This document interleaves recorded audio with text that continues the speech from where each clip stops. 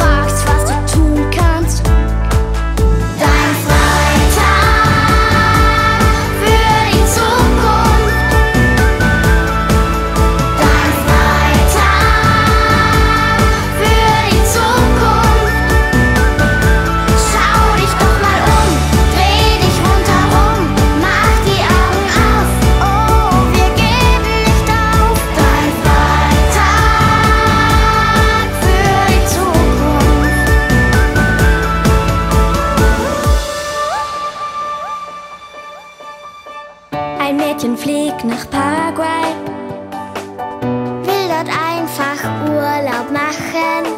Ihr Flug verursacht CO2, auch wenn die meisten